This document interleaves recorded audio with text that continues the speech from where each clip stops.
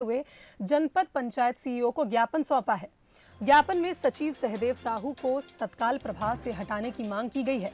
बता दें, खपरीडीह ग्राम पंचायत से अलग नवापारा को नई ग्राम पंचायत बनाया गया है, जिसमें सहदेव साहू को अतिरिक्त प्रभार के रूप में सचिव की ज़िम्मेदारी दी गई है।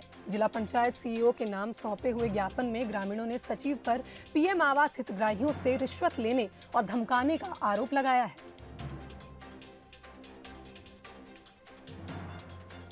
सचिव का शिकायत देकर और सचिव हुआ यहाँ पंद्रह साल, वहाँ पदस्थ है। पारियोक्ता का पैसा का उन लोग मनमानी ढंग से करते हैं, हम लोग पंच हैं। हमको सूचना नहीं देते हैं, बताते नहीं हैं, जानकारी जानकारी पूछने के बाद धमकी देते हैं, मार देंगे, पीट देंगे कहकर। और हम लोग एक बार और शिकायत किया है, जनपद पंचायत में, उसका आज तक कार्रवाई नहीं हुआ है। जिला पंचायत को शिकायत की गई है, जिसके संबंध में नवें महीने के आखिरी सप्ताह में हमको